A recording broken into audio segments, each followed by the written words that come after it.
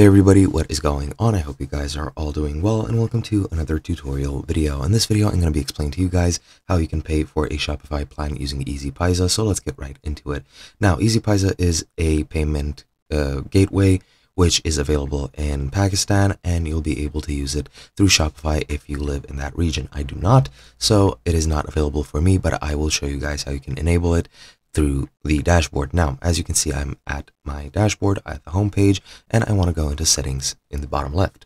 From here, you're going to go into the billing section. This is where you'll set up all your billing needs. And as you can see, currently I have no billing uh, or payment method set up, so I'm going to click on pay add payment method. And as you can see, the only options I have myself are the credit card and PayPal, but you're going to select EasyPaisa if that is available for you.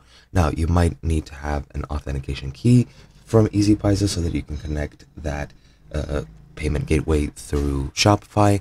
Uh, and once you connect everything as you would pretty much on any other site, then it'll be added as a payment method.